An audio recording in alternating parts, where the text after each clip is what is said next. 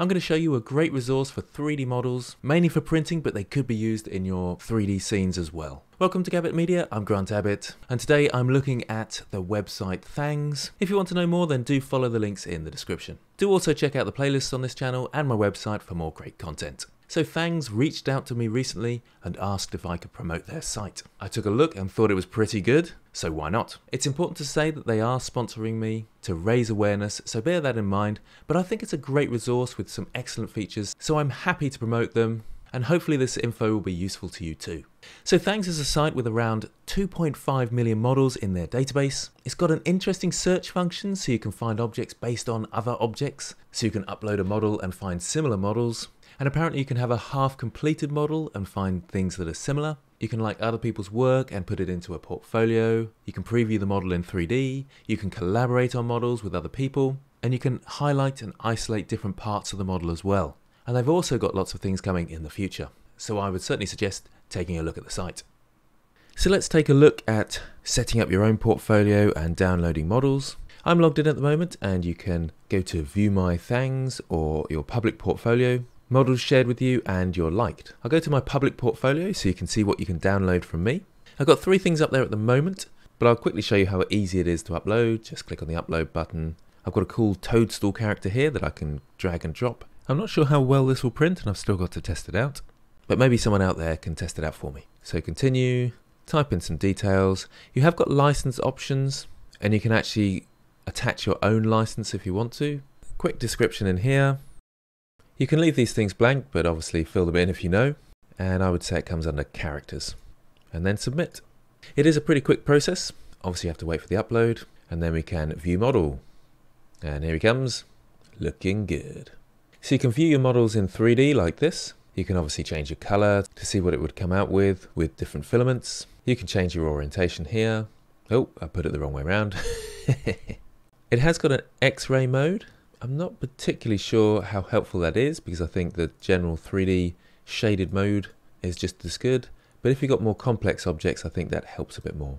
You've got an option to download augmented reality, which you can do on your phone without any separate apps. You can share your models. So it's all useful stuff. Let's go back to my portfolio and I'll show you the other things on there. I'll just refresh that because it should come up now. There he is, the Toadstool character. Not sure why my previews aren't working on these, but here's the wolf one here. Now for all these models, there are tutorials, so do check them out if you want to learn how to sculpt these things. And this one I take from Sculpt to 3D printing. So I have checked this one, this wolf model, and it prints out really nicely. I've also got a low poly barrel here. I don't know how useful that will be, maybe as a game object. And my sculpted barrel, which is a little bit nicer. And I've chopped off the bottom. Hopefully that will print out okay. But again, I still need to try this one. So let's take a look at what models other people have put on the site. Let's just go to the front page of Thangs. There's some exceptional models here. Look at this Harley Davidson, for example. Now this gives me a chance to actually show off some of the other things that are available with Thangs. I can actually click on different elements and you can see them being highlighted as I hover over them. You've got an explode option as well. That makes it a little bit easier actually to see what's going on and I can use the wheel of my mouse to come to all these different parts. So it's got some really clever features there and being able to break it down like this is extremely helpful.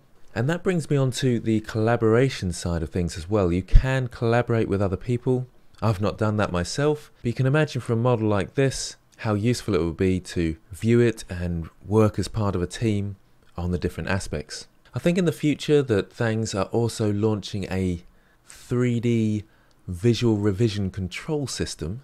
So they're going to have about 20 different 3D formats, including things like assemblies, and apparently it will behave similar to something like GitHub for geometric models.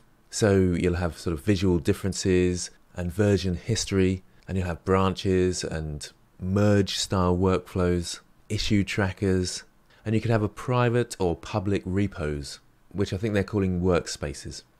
It's all pretty clever stuff. What about a general search then?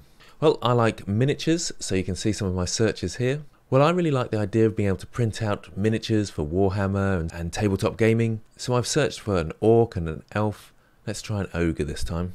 Now this is where it gets interesting because the search feature not only searches on Thangs, but also 3D models from lots of different sites. So if I take you to this one, a nice 3D model, but we're now on Free 3D and unfortunately it doesn't have the same functionality so I can't see anything to do with this model except from this one angle, which kind of shows how nice the Thangs website is. But it's great that you're able to search all these sites for 3D models on one platform like Thangs. Let's go back and you can see that there is an actual Thangs model here. So if I go into that, we've got all the features and things we need for our ogre model here. And this one's got different parts. Pretty impressive stuff for a free model. And if I take you back to the search, we can see that that actually came up third. So it's not prioritizing Thangs models. It's just giving you what it feels is the most relevant for your search. So I'm on best match. You can obviously stick to Thangs if you want to, and it gives you external as an option there as well. So the other thing we can do with the search is we can take models we've already got. So if I click this button here, which is upload a model to search, I've got a model I downloaded from the site, this Iron Man model here. I can drag and drop that in, and it will actually search for models that are similar to this. So as you'd expect, it came up with the same model, which I think is this one here, but it's also got other versions of this model on here as well. So if you've got a part to a model, it will find that, and it finds things that are very closely related. Also, when I click on the actual model, and let's scroll down a bit, you do have a section here geometrically related to Iron Man, and although there's no models here yet, you often get similar models turn up here. Here's an R2-D2 model that actually has related geometry down the bottom here. I'm not sure how they find these particular models and how they relate, it could be perhaps in the description or the name as well as the geometry itself. But you can see they've got a fair few there, some more closely related than others. Now most of the time these are STL files and you can bring them into your Blender project, mess about with them, add them to your scenes and render them out nice and easily. So it's a great resource for not only 3D printing but 3D models in general. So to sum up, I'm pretty happy that Thangs have asked me to promote them because it's very easy to promote something that's cool like this. Thanks Thangs for a wonderful site and your support to my channel, and thank you for watching.